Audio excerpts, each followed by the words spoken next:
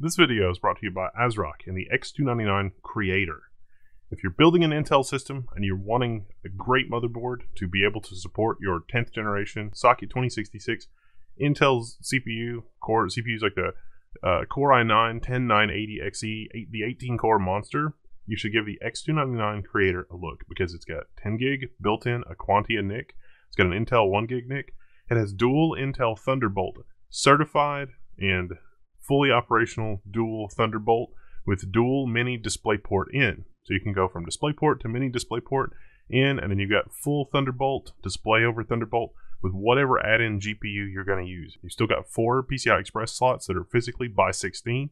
You got three M.2, and with those 10th generation CPUs, those PCIe lanes are right into the CPU. So this is a great platform to use for high-end content creation. 10 gig NIC plus Thunderbolt plus all that PCIe. It's a pretty good setup. Thanks, ASRock. the Hygon C86, X86 mystery CPU. These are incredibly rare. I'm fortunate because an anonymous, awesome person has let me borrow these Hygon systems for so long and play with them and do stuff. So thank you. And if this is your first, it's like the forbidden Chinese x86 server CPUs. I mean, what's not to be excited about that? You know, doesn't that make it twice as exciting, twice as taboo? In case you missed it, Dr. Cutress at AnandTech did like the full rundown, an insane amount of work exploring these two systems. We've got a rack mount 64 core, it's two 32 core CPUs uh, in you know this rack mount server configuration, and then we also have a desktop, a more desktop-ish, eight core, you know, 3.2 gigahertz. The silicon in these is roughly equivalent to Zen 1. So why are we talking about Zen 1s? Well, these CPUs are special, they're incredibly rare. These CPUs were produced as part of a joint venture between AMD and some other Chinese companies. So it was like a Chinese American joint venture where uh, AMD got some cash and the Chinese companies got pretty good access to some technology and some other things. And uh, the silicon was produced mostly at Global Foundries. So there was, I mean, it was a pretty good, you know, East meets West kind of thing.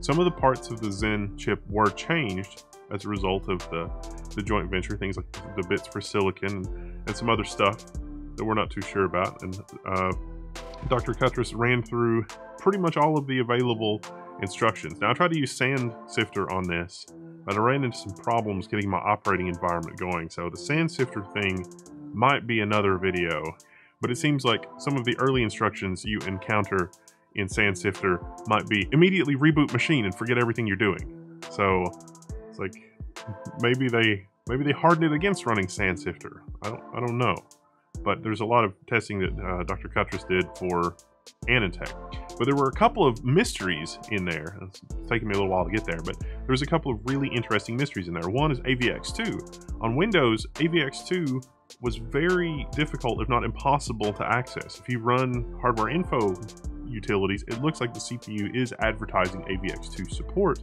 but if you go to try to use the AVX2 instructions, no data is returned, or the program crashes, or nothing works. And so, like, you try to run you know, CPU-Z, which CPU-Z has a pretty good AVX benchmark built into it, and it just it just crashes. It doesn't it doesn't work. There's there there are problems there, and uh, booting in Linux, uh, you know, checking proc CPU info, it shows that AVX2 is supported, and running test programs in Linux for AVX2 seem to be getting valid data, but there's something odd going in. So that was a little bit of a mystery.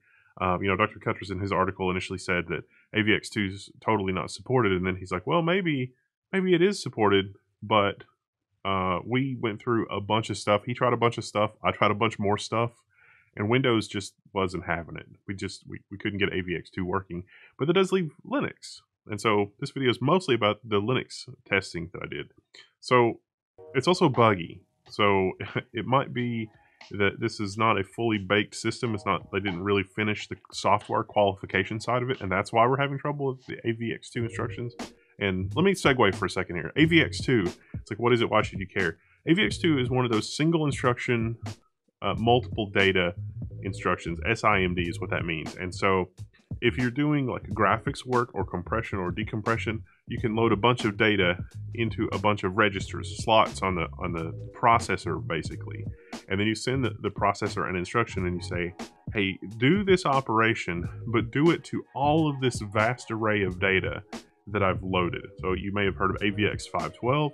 There's 512 registers of information with AVX 512.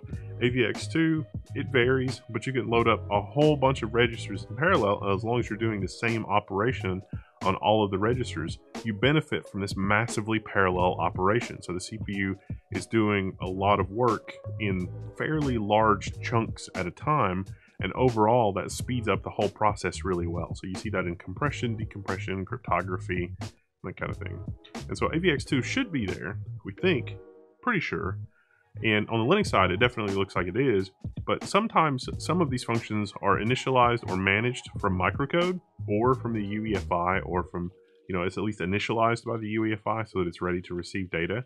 And it might be that the full support there doesn't work. Well, booting Linux on these things is challenging because the machine will hang or there will be a kernel panic or there's a crash.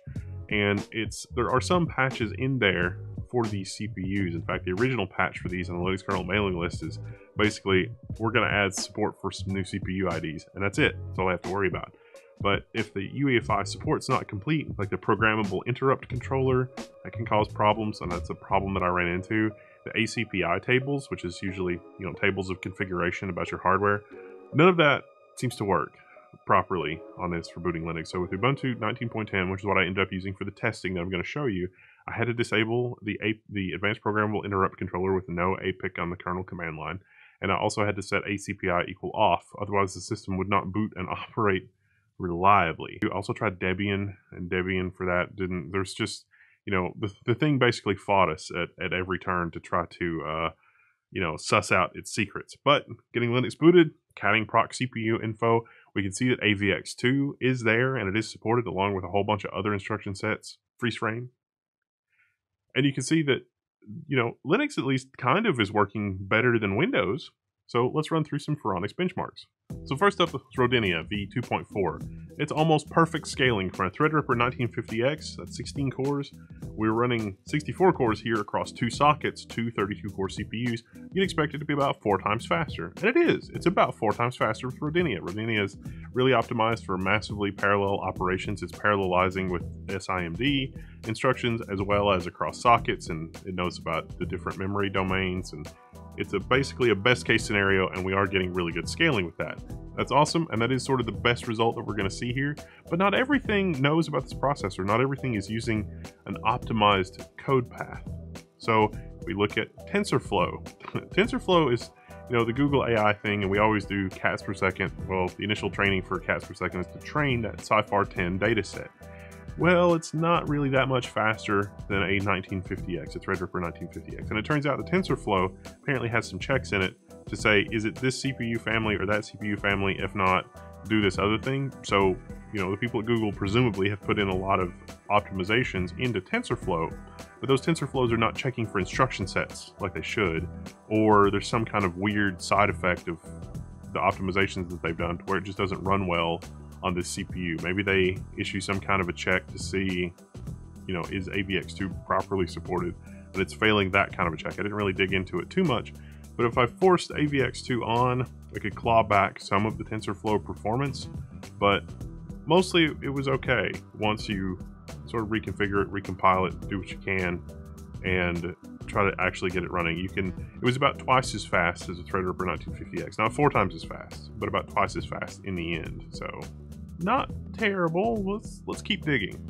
XS Bench. What about XS Bench? XS Bench was one that I was not able to resolve the performance of with compile tweaks, and so uh, there are some changes to the math functions on these CPUs, and this really does smell like a code path problem, but I couldn't suss out sort of where the performance hangup was exactly. I, I could see that the SIMD instructions were being used, but the CPU also didn't seem super busy. Like when you run XS Bench, the CPU's pegged at 100%. When I was running it on these, it was like 70 to 100%. And so there was clearly some bottleneck somewhere in an unexpected place, but I didn't, I couldn't really figure it out. FFTW is also uh, another benchmark that scaled reasonably well, but it would only run on one CPU socket. So not sure what that's about. Uh, even when I could force it to run on cores on the other CPU socket, it was still storing stuff in the memory of the other CPU. maybe a Linux kernel bug. Redis was also another puzzler. So Redis, I would not think would really even care what it's running on, but the performance there was much worse than I expected, and I'm really I'm not sure what that issue was. LZ Bench, LZ Bench is is another uh, benchmark that's not super multi-threaded, but it uses SIMD. So you can have a program that's not super well multi-threaded, but uses SIMD to kind of do things in parallel. It's a different approach to parallelization, and it really was hobbled because I think it misdetected the CPU and it didn't use a code path that it probably could have. That may actually, all of these things may actually be compiler bugs that will be resolved in newer versions of the compiler. Although maybe not because these CPUs are not really going to see the light of day, so probably not worth adding fixes for these unless a lot of people have these CPUs. But that brings me to TimeSpy. Wait, TimeSpy? That's Windows Gaming. Well, you see, We've been talking about the server Hygon CPU, which is interesting in its own right. I mean, all of this is just fascinating. But the 8-core desktop CPU really, I mean, you would look at it and say, this is 8 cores, mm, a, this is kind of like a Ryzen 7 1800X. So you run TimeSpy, same GPU, same setup, same hardware, same drive, everything. It's two to 300 points higher. That's a lot, kinda, for, you know, a machine of this genre. Um, you know, it's uh, upper end of 8,000s, lower 9,000s. Uh, this system generally is over 9,000 with a GTX 1080 and even a little bit more. And that's interesting because we know this is a Global Foundries process and we know this is older silicon and blah, blah, blah. Is it possible that there's some optimization in the microcode or this system where there's less overhead and that is why it's performing really well compared to a Ryzen 7 1800X? Are there any lessons learned from the 1800X that, for whatever reason, couldn't be fixed on an 1800X that exist here? well, it turns out it's a hardware thing. At least I think it is. My best guess on this, after trying to rule out microcode and firmware and a couple other things, is PCIe layout. So I, I'm pretty sure this EPYC-like CPU that's from Hygon. It's an AM4 socket, but it's soldered under the motherboard, remember. 32 PCIe lanes out of the socket. You know, traditional AM4 is only 24 lanes. 4 lanes to the chipset, 4 lanes to the M.2, 16 to the GPU. But we've got 32 that we're working with, at least 32, maybe 38, on the Hygon system. And the Hygon system has two X16 slots, and no matter which GPU, no matter which slot my GPU is in, it links up at X16. So if I put the GPU in the top slot, the one closest to the processor, scores over 9000 every time. If I move the GPU down to the second X16 slot, it is more like the, you know, 80, 800, 8900 score. So I think the difference, I think it is basically a Ryzen 7 1800X, but the clock speed is not as good, you know, 3.2 to 3.6, 3.7 gigahertz. But I think the performance delta in TimeSpy is just because of the PCIe layout, and the PCIe layout is a little closer to EPYC embedded than Ryzen desktop. That's a, the best explanations that I have for the two mysteries of how could the Hygon system possibly score higher in TimeSpy and some other benchmarks where it's just a little bit higher than an 1800X. And the 1800X has the, you know, it should have some process advantages and it should be more mature software. And it should also have, uh, you know, just the, the clock speed advantage I mean, the 1800X should clearly be the winner. But, you know, as we saw in Dr. Cutress's article, things like random number generation, you have a little bit of control over that in BIOS. You can turn it off or some other options. But things like random number generations and, and other stuff that we use, you know, algorithms from the West, those don't run as well. And we can see that in some of some of the benchmarks. And whether that's down to just configuration, ACPI, or firmware, I'm not or microcode. I couldn't say for sure but hopefully this additional testing is useful and you can check out the Phoronix benchmarks. I'm Wendell, this is level one, and if you enjoyed this video, please updo it. Then if not, you can you can download it too. I mean that's fine. It's whatever. Hang out on the level one forums if you have any questions or want to help me out with the next video, or if you're a Sandsifter expert and can figure out why it would reboot the machine after running SAN sifter on different distros, that might be nice. I'm Wendell, this is level one. I'm signing out, and I'll see you later.